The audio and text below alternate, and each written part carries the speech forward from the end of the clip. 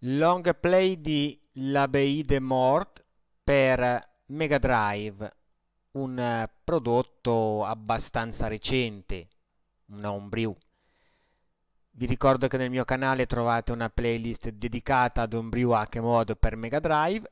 In descrizione trovate il link per scaricarla con un'offerta volontaria o gratuitamente. Esiste anche la versione fisica acquistabile. Buona visione!